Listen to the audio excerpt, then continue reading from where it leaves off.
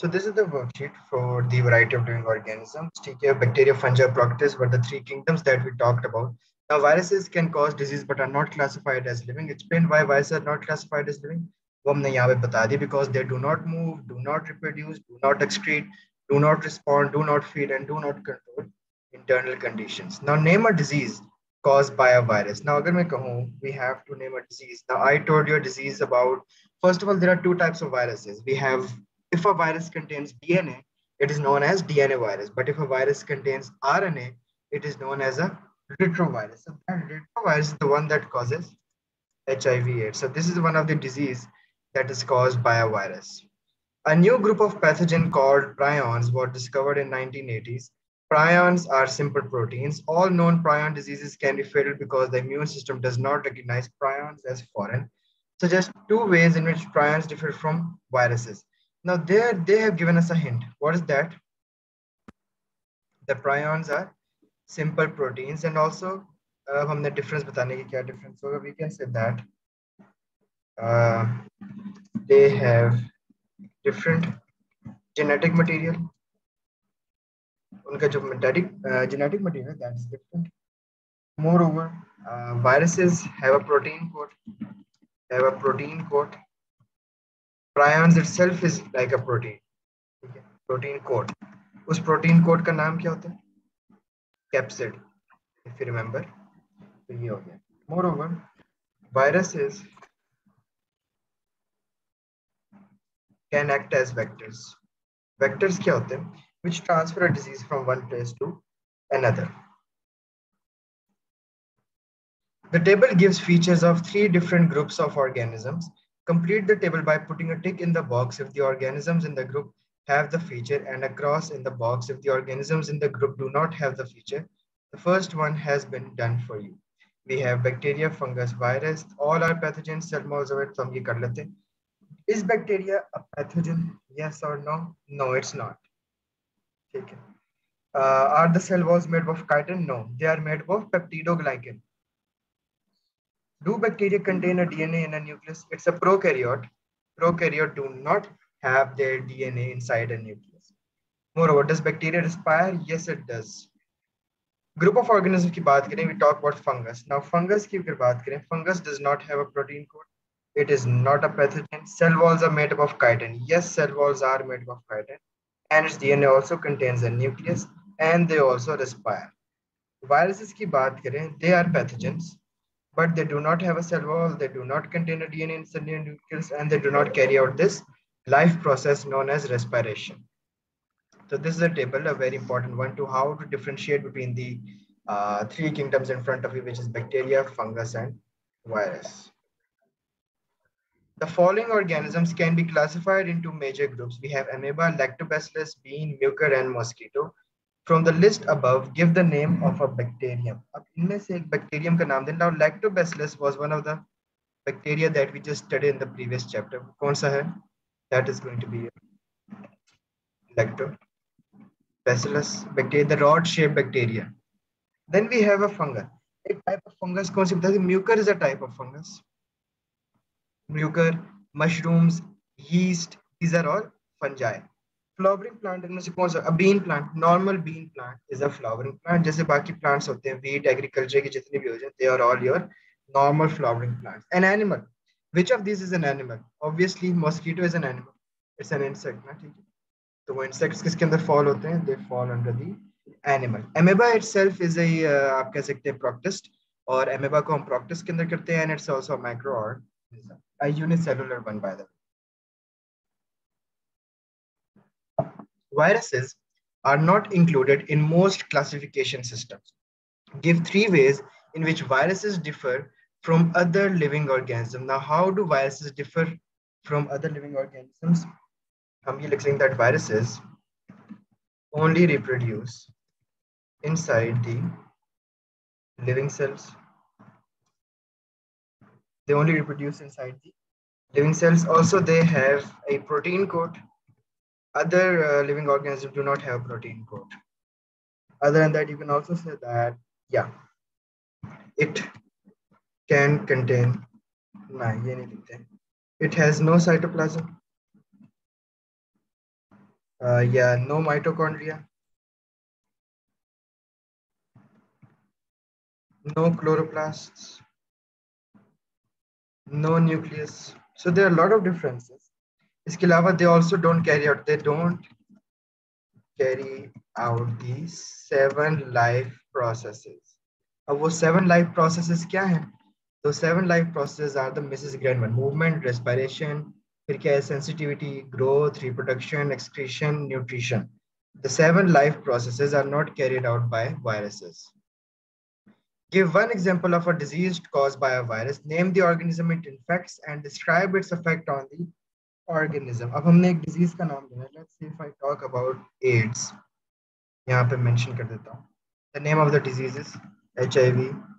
AIDS. Which organism does it affect? Animals? No. ये तो humans के अंदर आते हैं. It's mostly common in humans. And what is the effect of HIV AIDS? अब ये आपको याद रखें. First of all, just remember, it mostly affects the immune system of the person and hence he or she is more prone to get infected मतलब कि वो ज्यादा prone हो जाते हैं इन्फेक्ट होने की वजह से because it mostly affects the immune system of the person and hence he और she is more prone to get infected अगर आपका इम्यून सिस्टम वीक हो जाएगा ना what is the immune system Immune system is your body's defense against diseases, and if it gets weak, then it's trouble.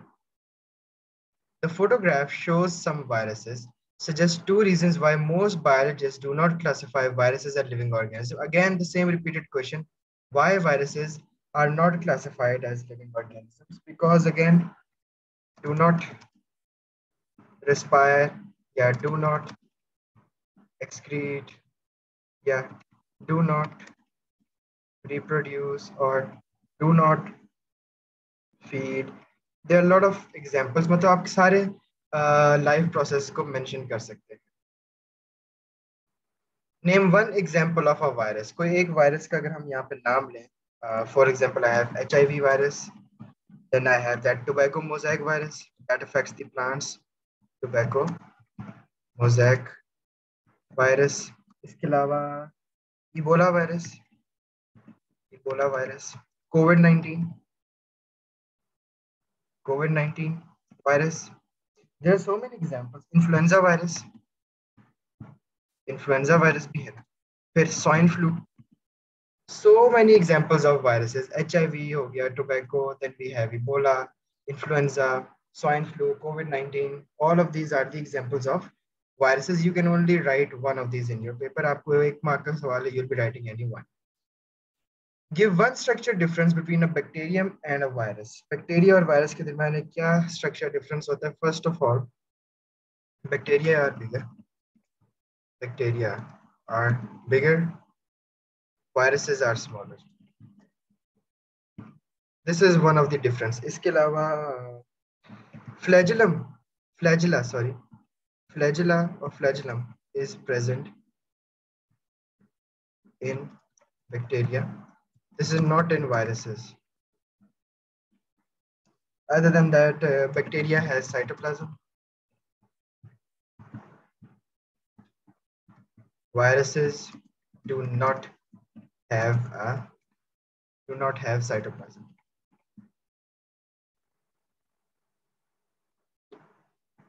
Flagella क्या होता है? What is flagellum? If you ever see a typical bacterial cell,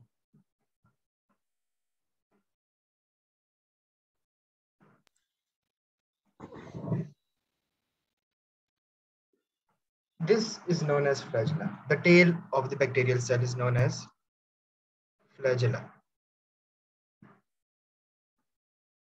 Antibiotics are chemicals used to kill pathogens that cause infections.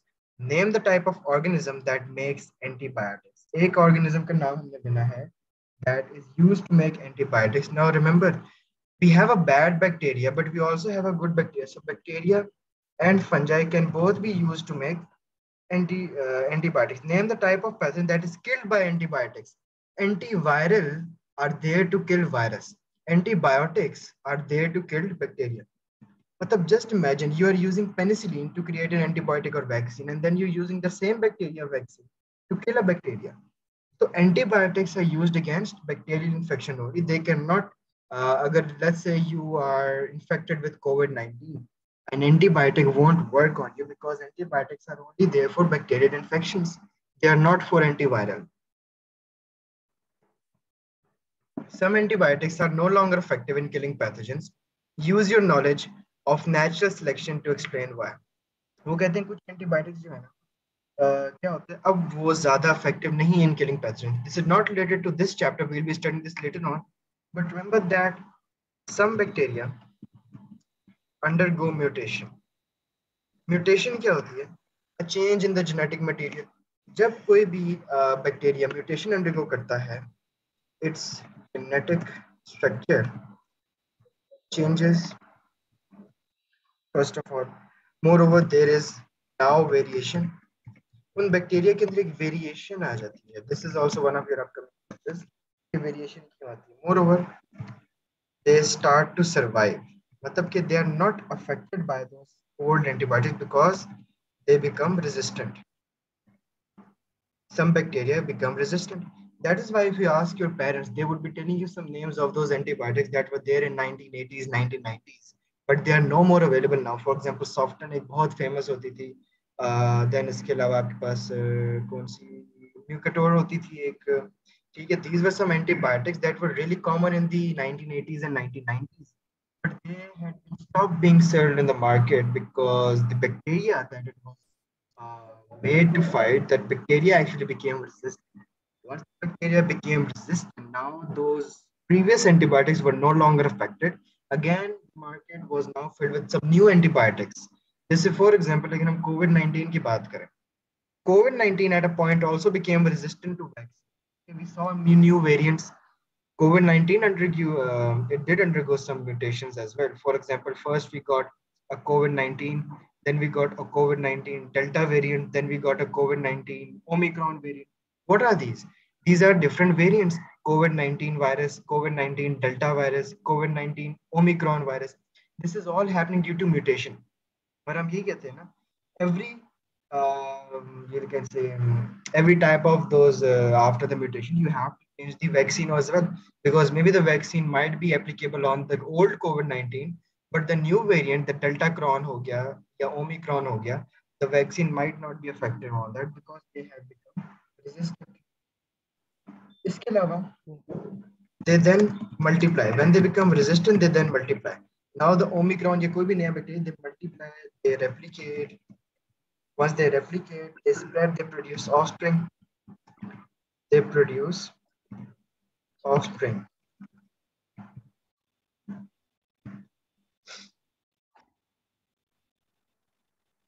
the use of pesticide may result in an increase in the number of pest targets. No need to do this now. This is from your chapter of natural selection. We haven't covered this yet. Okay. The table shows four different groups of organisms. Complete the table to give an example of each group. Animals की अगर मैं एक example दूँ given just let's talk about an example of animal क्या हो सकती है? Human fungi की अगर मैं एक एग्जांपल लूँ I told you mucor is a type of fungi ठीक है? यीस्ट मशरूम्स टोडस्टूल्स बैक्टीरिया की एग्जांपल ले अगर lactobacillus you should also know more. Lactobacillus के अलावा you should also know salmonella.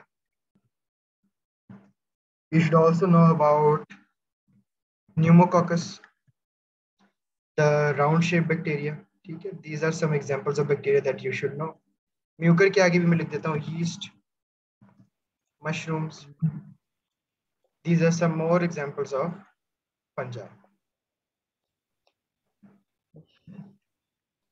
Moving on, proctists. Proctists में कौन कौन से आते हैं? Amoeba या Chlorella.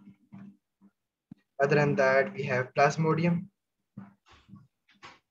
You only have to list one. I'm just telling you, so आपके पास ज़्यादा data इकट्ठा हो जाए कि Plasmodium भी है. Uh, then we have Algae also. I forgot Algae. ठीक है ये सारे प्रॉक्टिस किंगडम में से आते हैं प्लाज्मोडियम इनमें से जो है ना salmonella also causes the salmonella virus salmonella disease एक होता था जो कि चिकन में से अराइज हुआ था it basically came from birds and chickens. Then plasmodium ki baat kare. Plasmodium is the one that causes malaria and dengue through the anopheles female mosquito. Different groups have different features. Complete the table below to show if the feature is present in all, some or none of them in each group. Some of the table has been completed for you. Fungi ki baat kare. Are fungi, uh, uh, all fungi are multicellular? No, some are. ठीक है उसके बाद अगर हम बात करें bacteria are bacteria all multicellular yes फिर cells have nucleus no bacteria में न्यूक्लियस नहीं होता. None do protist have a nucleus no none cells contain chloroplast yes अच्छा. Contain chloroplast uh, fungi के अंदर chloroplast होते हैं? Yes. All of them have chloroplast do cells have cell wall fungi has a cell wall made up of chitin yes it does moreover cells have cell wall bacteria also has a cell wall made up of peptidoglycan do protists have a cell wall uh, अगर हम protist की बात करें so yes, some of them have a cell wall. Some of them don't. This is a very important point to yaad rakhna because some protists have a cell wall and some of them don't. Give one way in which the structure of a virus differs from a bacteria. अगर हम देखें तो एक structure हमने ऐसे बताना है I just told you same repeated सवाल है give one way in which the structure of virus differs from a bacterium आप लिखते हैं viruses are smaller they don't have cytoplasm. They don't have membrane bound organelles. Membrane bound organelles का क्या मतलब होता है membrane bound organelles होते हैं जैसे कि we have chloroplast we'll be doing chapter number four जिसके अंदर organelles की बात करेंगे जैसे कि chloroplast that is a double membrane bound mitochondria a double membrane nucleus a double membrane ribosome single membrane है तो viruses do not have membrane bound organelles Moreover, they also don't have a flagellum. Bacteria and viruses can act as pathogen. Give an example of a disease caused by a virus. Virus की एक disease का नाम लिख देते हैं like HIV AIDS. One example यहाँ दे दी हमने. I also told you tobacco mosaic, influenza, flu, cold, measles. Measles किसकी वजह से होते हैं? Measles is caused by variola virus. अभी एक monkey pox भी आया है. uh, that has just I was there at a workshop yesterday तो वहाँ पे हमने monkey pox के बारे में देखा था how it has risen that was also a virus ठीक है वो भी तो एक virus ही है although plants and animals have many different features they also have some features in common the table lists some features in each box place a tick if the feature is present or place a cross if the feature is absent one has been done for you अगर हम बात करें plants और animals की they can move from place to place plants can not move animals yes animals can move from one place to another can plants carry out photosynthesis yes can animals carry out photosynthesis no are plants multicellular yes animals they are also multicellular do plants have cell walls yes they do किससे बनी होती है cellulose do animals have cell no, they don't. Plants, they do uh, do they store carbohydrates as glycogen? No, they store it as starch. they store it as starch. Animals store carbohydrate in the form of glycogen. Ye aapne cheezein yaad rakhi organisms that cause disease are known as pathogen. Give two groups of organisms that include pathogen. kaun kaun se ho pathogen? Bacteria is a pathogen. Pathogens kya hote that cause disease? Then you have viruses. The two most common examples. fungi fungi also causes athlete foot तो आपके पास practice भी है practice के अंदर Plasmodium है Plasmodium causes dengue fever fungi है fungi can cause uh, athlete's foot viruses है viruses can cause influenza covid a lot of them ठीक है बैक्टीरिया है बैक्टीरियल इन्फेक्शंस भी होते हैं Doctors sometimes give antibiotics to very ill patients. The passage below describes the treatment. Complete the sentences in the passage by writing a suitable word or words on each of the dotted lines. Antibiotic solution is given to the patient through a tube. The tube is connected. Uh, ये वाला छोड़ दें this is from our chapter of transport in animals ये question जो है ये आपका next chapter से है uh, ये हमारा चैप्टर नंबर एट है transport in animals leave this for now a student is given leave this one too this is also from uh, nutrition ये हमारा nutrition chapter में से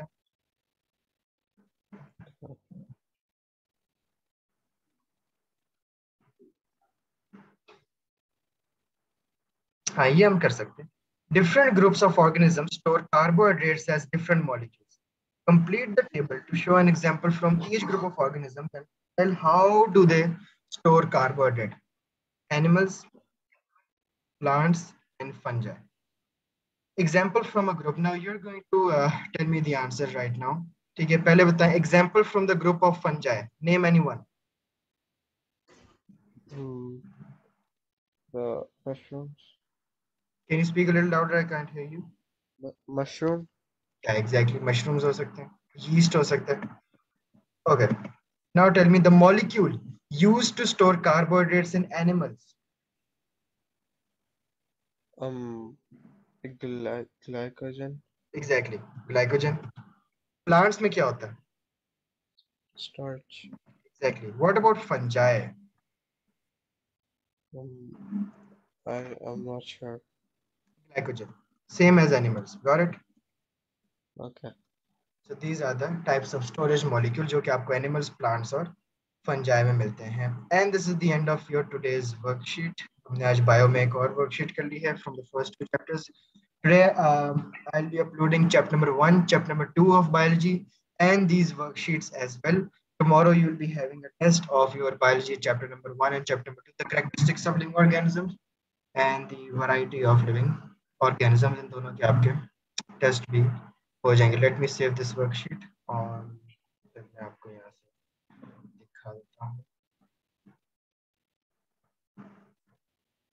Let me open up a short video.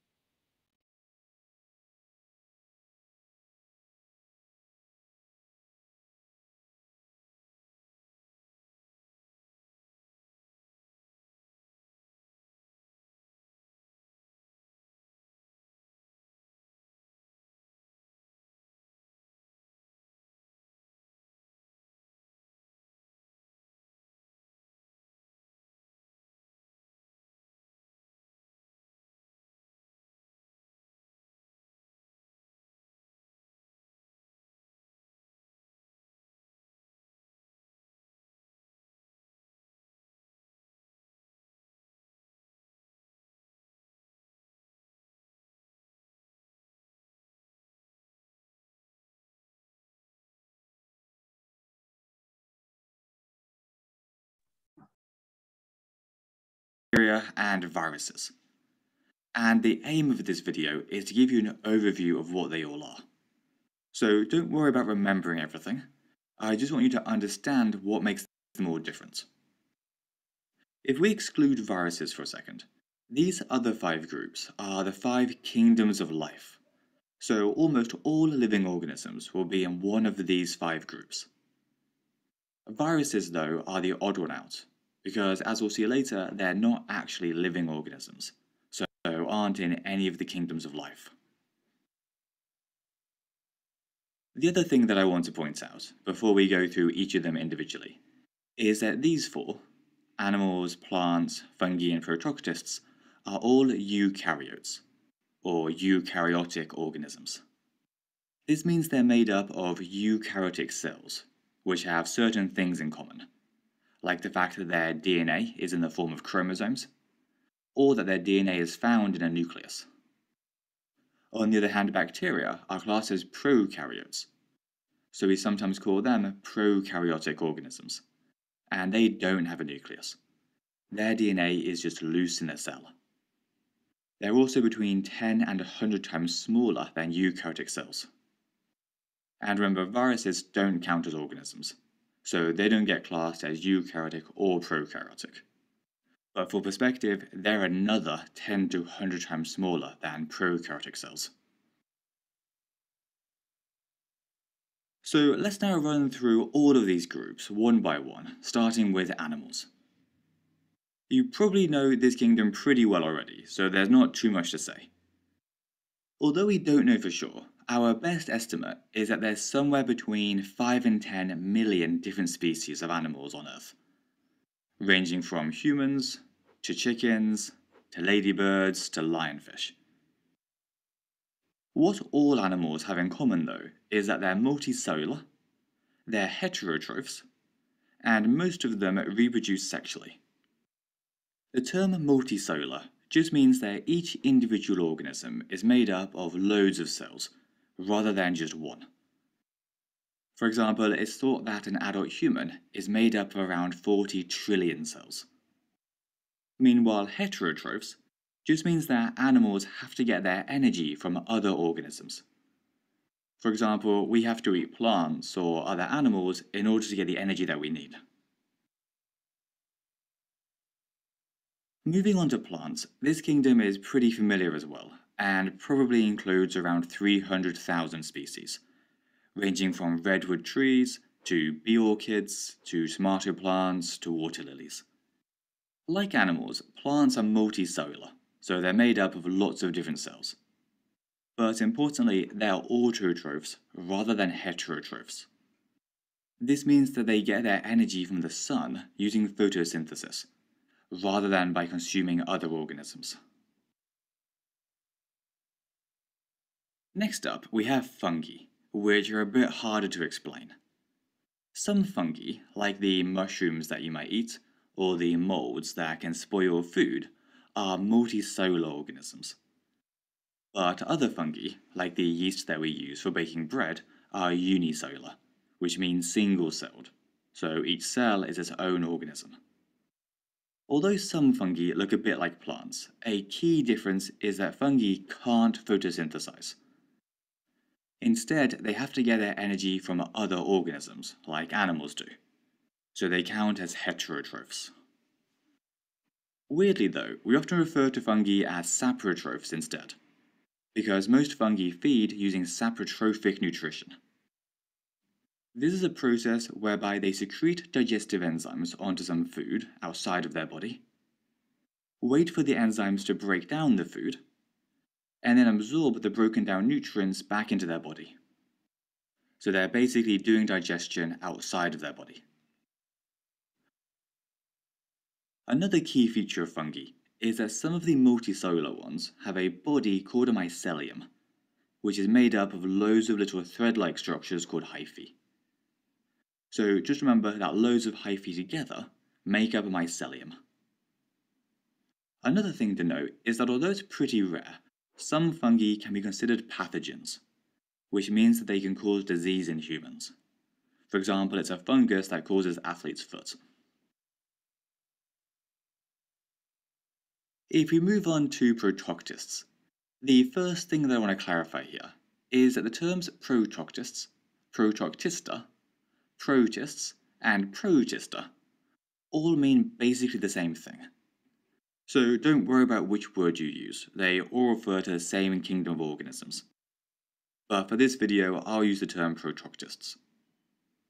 Nearly all protoctists are unicellular, so single-celled organisms. But there's still a huge amount of variety between the different species. For example, some species, like Chlorella or Euglena, are a bit like plant cells, in that they have chloroplasts which allow them to photosynthesize. Whereas other species, like amoeba, are more like animal cells and have to consume other organisms to get their energy.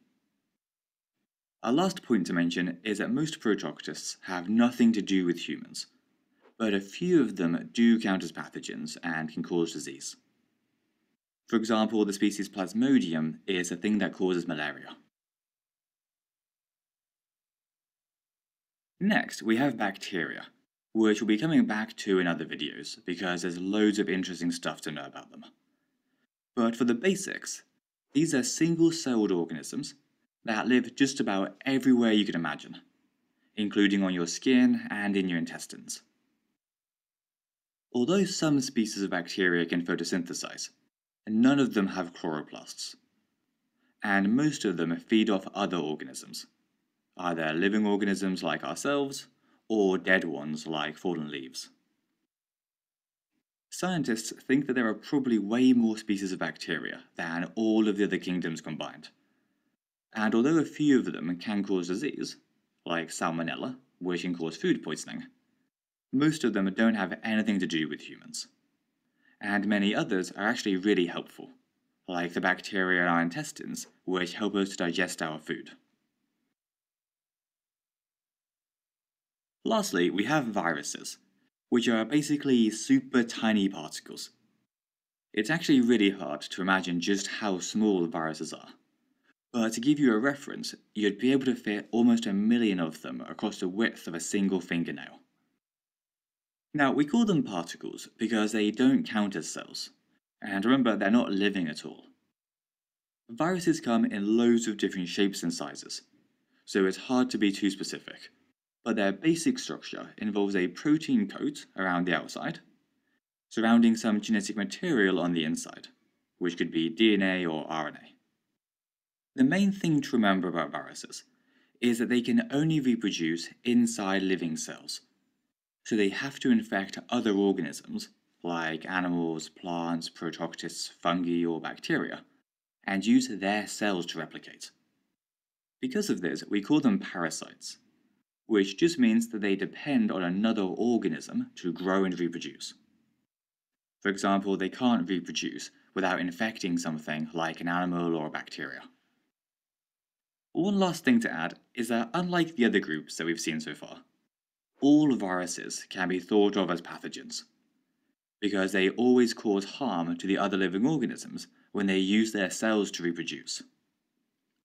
A few examples of viruses include the influenza virus, which causes influenza, tobacco mosaic virus, which affects tobacco and tomato plants, HIV, which can cause AIDS, and of course, COVID 19.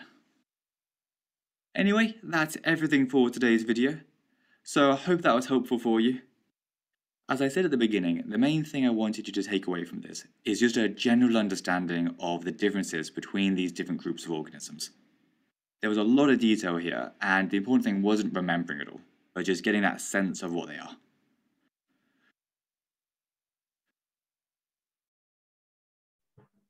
And this is all for the biology class. Uh, take a five minutes break and then join again for chemistry.